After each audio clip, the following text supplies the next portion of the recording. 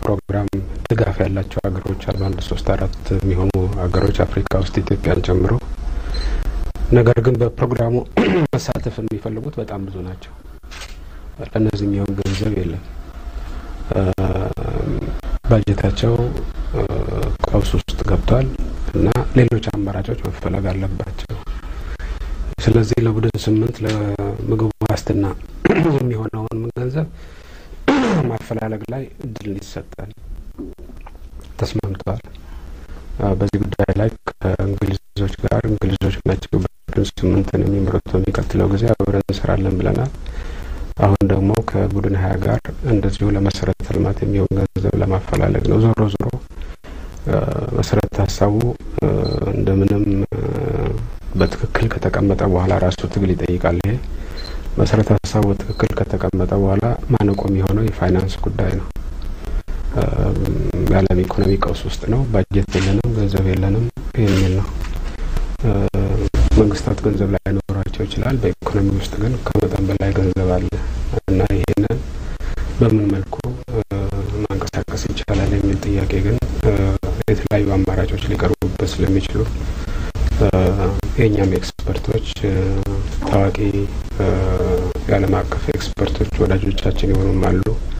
እነሱን አንቀሳቅሰን ሀሳብ ማምጣት እንችላለን የሚል ግምት ስላለን ነው ይህን ያስፈቅደናል።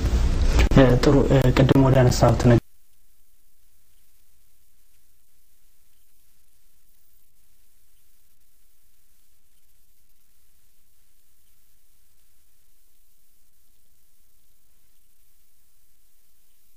ሰዎች የሚያነሱት ነገር አለ። እነዚህ ድርጅቶች በራሳቸው ያላቸው የማበደር አቅም እየወረደ ከመምጣቱ ጋር ተያይዞ፣ ሁለተኛ ነገር ደግሞ ለበለጸጉት ሀገራት የማድላታቸው እድል ሰፊ ስለሆነ ወደ ተግባር የመለወጡ እድል አነስተኛ ነው ይላሉ። እንግዲህ አሁን በተጨባጭ ስብሰባው ላይ ወደ አራት መቶ ሀምሳ ቢሊዮን ዶላር ነው ገንዘብ የተዋጣው። አይኤምኤፍ ችግር ላጋጠማቸው ሀገሮች እንዲያበድር በአሁኑ ሰዓት ችግር አጋጠማቸው የሚባሉት ሀገሮች የበለጸጉት ናቸው፣ የአውሮፓ ሀገሮች ናቸው። እና ጥያቄው የተነሳው በእኛ በኩል ጥሩ ነው። እነዚህን መደገፋችሁ አራት መቶ ሀምሳ ቢሊዮን ብር መደገፋችሁ ጥሩ ነው። አራት መቶ ሀምሳ ቢሊዮን ብር ለሀብታሞች ማግኘት ከቻላቸው የዚሁ አስር በመቶ ለእኛ ማግኘት እንዴት ይከብዳል? ገንዘብ የለም የሚለው ለድሀ የሚሆን ገንዘብ ነው የሌለው ወይስ በአጠቃላይ ገንዘብ ነው የሌለው የሚል ጥያቄ ለማንሳት ነው። በዚህ ላይ አስተያየት መልስ አልተሰጠበትም፣ ግን እንደገባቸው ይገባኛል። ባለፈው ህዳር በፈረንሳይ ካን በተካሄደው የቡድን ሀያ ስብሰባ ላይ አባል ሀገራቱ ለአይኤምኤፍ ሊሰጥ በሚገባው ተጨማሪ ድጋፍና ብድር ላይ መግባባት አልቻሉም ነበር። ያኔ ደግሞ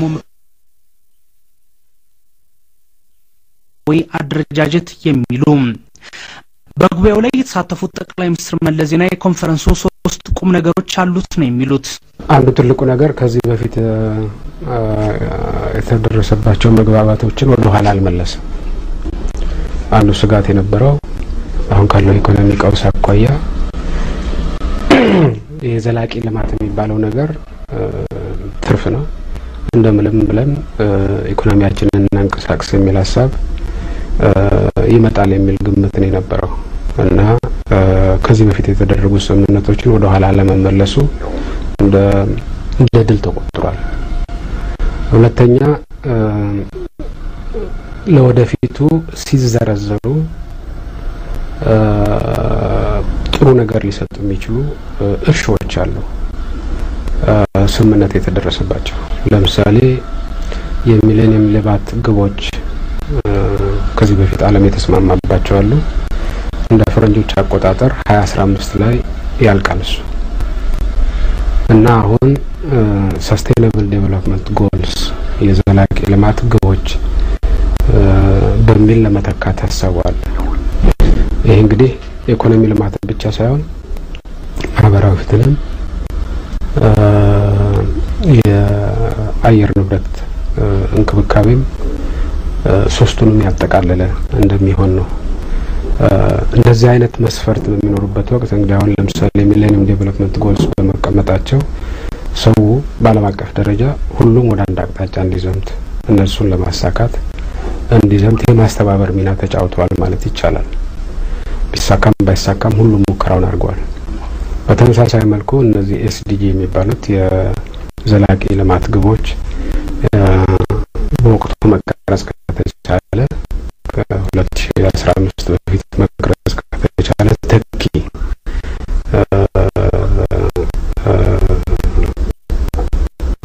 ማስተባበሪያ ነጥቦች ሊሆኑ ይችላሉ የሚል ግምት አለ። ሶስተኛ ዘላቂ ልማት ማለት በተጨባጭ ማለት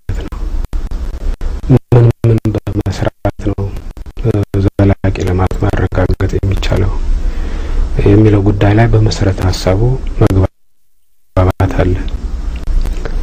አሁንም እንደ ሌሎቹ ጉዳዮች ማነቆው ፋይናንስ ነው። ያልበለጸጉት ሀገሮች ዘላቂ ልማት ለማካሄድ ገንዘብ ያስፈልጋቸዋል። የበለጸጉት ሀገሮች አሁን ቀውስ ውስጥ ነው የገባ ነው፣ ገንዘብ የለንም ነው። ስለዚህ የፋይናንሱ ጉዳይ በንጥልጥል ነው የተተወው። ዞሮ ዞሮ ለ climate change የሚመደበው ገንዘብና ለዚህ የሚመደበው ገንዘብ አንድና ያው የመሆኑ እድል ሰፊ ነው።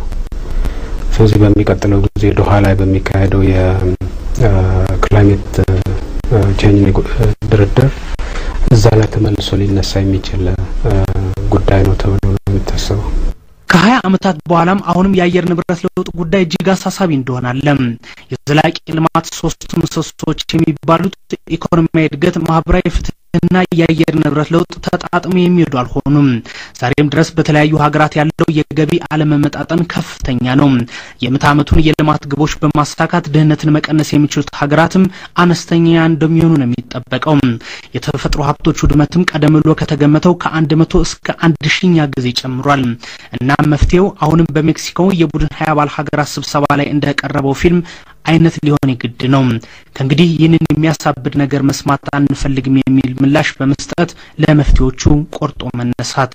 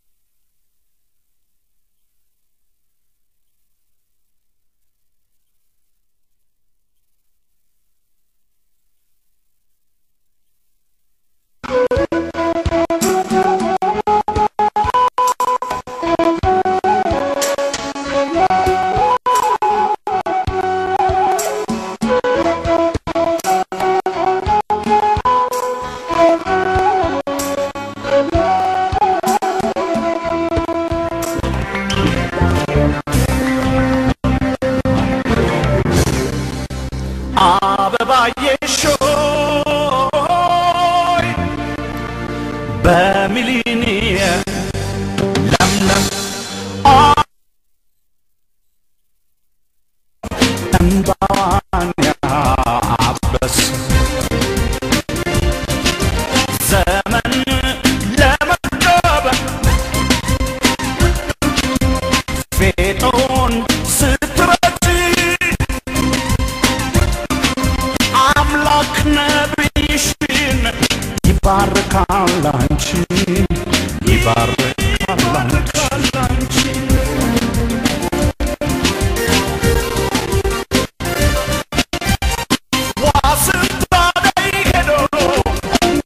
صوتها دايما تحت